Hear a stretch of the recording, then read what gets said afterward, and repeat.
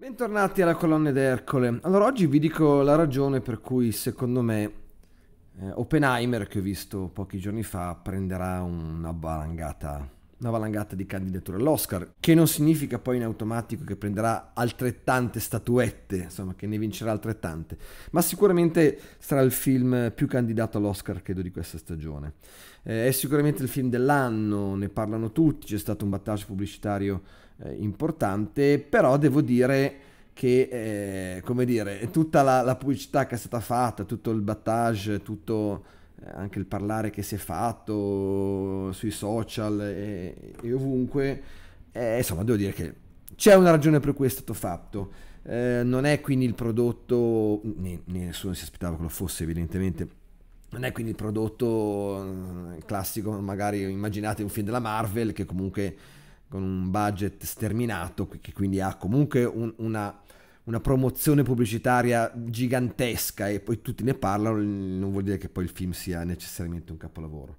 Eh, il film in, questo, in questione invece è un film veramente molto bello, è il film sicuramente della maturità di Nolan e credo che Nolan abbia dimostrato in due situazioni che è il film della maturità.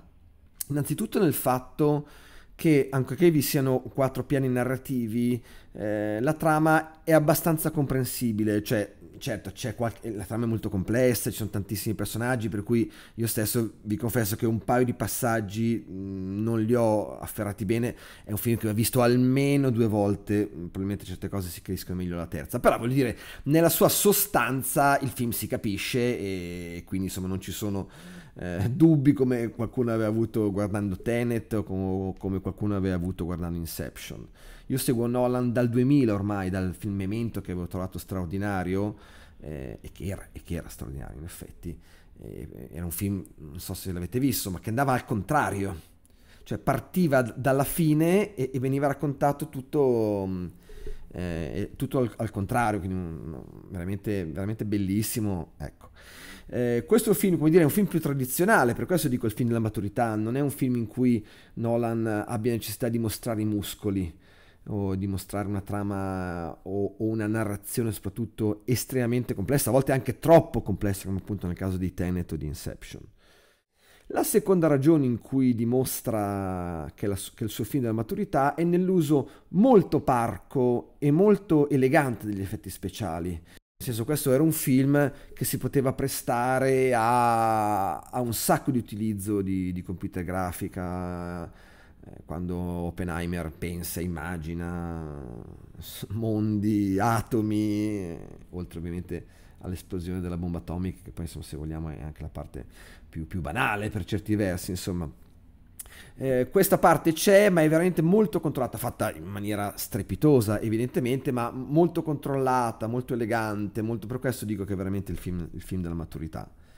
Straordinari il montaggio, straordinaria la fotografia, bellissima, poi insomma lo stesso formato in cui è stato girato il film, anche se poi non tutti i cinema, come dire, hanno la possibilità di riprodurre veramente quella che è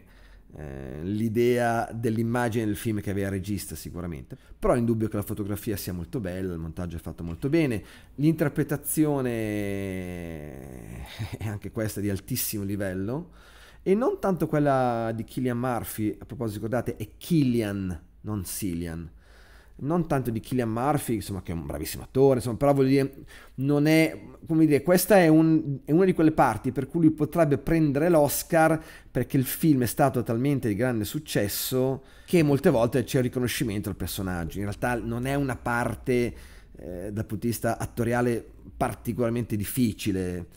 Però, ripeto, a volte si portano a casa le statuette più per il successo che ha avuto il film che non per la performance che, che è stata fornita. Trovo invece strepitoso il personaggio fatto da Robert Downey Jr., l'ammiraglio Strauss, eh, che Robert Downey Jr. quasi irriconoscibile, invecchiato, stempiato, insomma, non, veramente non, un personaggio diverso dal solito e che lui interpreta veramente con magistrale bravura la figura di quest'uomo venuto dal niente, insomma, molto, molto ambizioso uno che proprio perché è partito dal niente, pur di arrivare in alto, eh, passerebbe sopra anche ad altre persone, insomma, ed è veramente bellissimo come, come, Robert Downey Jr. interpreta e rende questo personaggio bellissimo. A contorno ci sono attorini come Josh Hartnett, eh, come Ramin Malek, come Kenneth Branagh, che fanno delle parti decisamente minori, insomma, e questo le dice lunga sulla scelta del cast, insomma, quando hai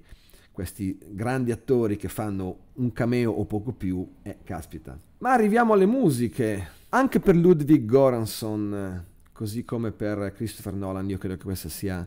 la colonna sonora della maturità. Eh, perché? Perché, allora, se mi chiedete, ma ti è piaciuta?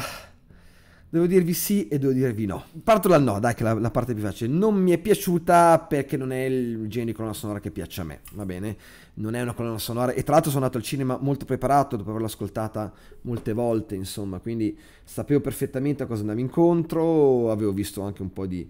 Eh, un po' di trailer, mi ero confrontato con persone che avevano già visto il film e devo dire che al, al netto di due o tre pezzi veramente bellissimi e veramente, mm, veramente molto ben congegnati e strutturati, ehm, vi devo dire che non è il tipo di colonna sonora che mi piace in genere, ma non è il tipo di colonna sonora che si ascolta, cioè non è che dicevo oggi pomeriggio mi faccio una playlist di colonna sonora, ci metto, mm, vediamo Indiana Jones, ci metto Star Wars, ci metto E.T., ci metto Il Padrino, ma sì, ci metto anche Oppenheimer, no, è una colonna sonora che non si fa ascoltare,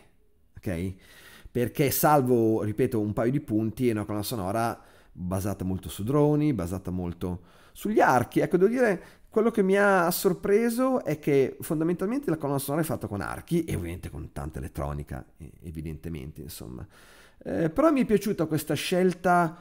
eh, quasi povera per certi versi. Mm, se dovessi scommettere, credo che il fatto di aver scelto un gruppo di archi spesso ridotto stia a simboleggiare probabilmente la, solitudine del personaggio, l'unicità dello scienziato e, e, le difficoltà che ha avuto ovviamente nella sua, sia nella sua vita privata che nella sua carriera. Però tutta la colonna sonora, ripeto, che di per sé mh, mm, non è una colonna sonora che ascoltereste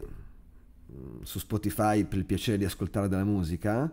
è perfettamente funzionale, nel senso è una musica che io quando l'ho ascoltata, l'ho ascoltata 3-4 volte tutta per, dire, per, spirito di servizio, però in certi punti avevo veramente il nervoso, ero, ero veramente sul punto di chiudere, perché non è una musica fatta per essere ascoltata, è una musica fatta per commentare l'immagine e questo lo fa in maniera egregia. Vi dico che questa è la colonna sonora della maturità per Ludwig Göransson, anche se ancora abbastanza giovane, perché? Perché è palese che su questa colonna sonora c'è una visione dall'alto cioè eh, proprio lo, lo, vedi, capisci il concept, è, capisci l'idea che ha voluto dare eh, e capisci che, che, si è partiti da un concept, da un'idea e si è andati nel, nel, nel singolo e non come molte volte si fa, insomma non nel cinema di alto livello, ma molte volte il cinema si fa, in cui si parte, ok, commentiamo questa scena, allora poi commentiamo quest'altra, cioè dove, dove, però molte volte manca il collegamento fra le due scene e soprattutto vista dall'alto tu vedi un insieme di, di, di pezzi anche bellissimi singolarmente, che magari che commentano benissimo la scena, ma non vedi l'idea sottostante. Qui l'idea sottostante è forte, è chiara ed evidente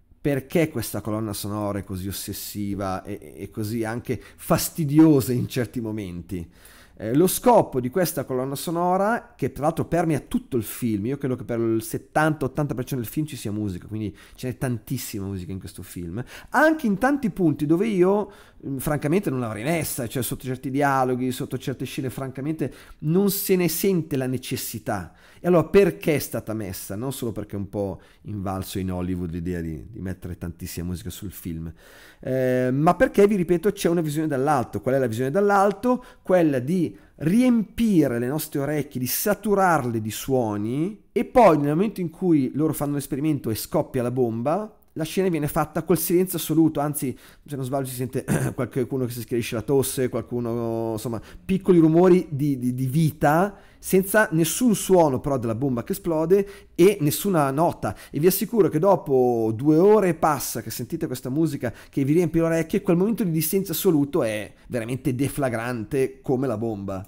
Per cui fare una colonna sonora così lunga con l'unico scopo di far notare eh, il punto del film dove la musica non c'è Beh, insomma, chapeau. A proposito del film, eh, certo che c'è qualche esemplificazione, nel senso ho parlato anche con qualche con qualche amico scienziato e mi hanno detto ma sa, certi passaggi non stanno in piedi, cioè non è che arriva il giornale e dicono ah i, i, tedeschi stanno facendo la bomba, ah allora si può dividere l'atomo, allora va alla lavagna e in dieci minuti ah sì in effetti si può dividere, cioè non funziona così evidentemente, un procedimento scientifico, eh, però non dobbiamo star qui a sottilizzare su queste cose. Eh, perché non dobbiamo farlo? Perché non dimentichiamoci che è un film, non è un documentario, quindi c'è comunque una narrazione dietro, c'è comunque un progetto dietro, è comunque un prodotto di, co- di consumo e di intrattenimento fondamentalmente. Poi certo, un film profondo, un film che apre a riflessioni, un film che apre a pensieri, un film che, che fa riflettere, tutto quello che volete, ma non dimentichiamoci mai che un film è un film,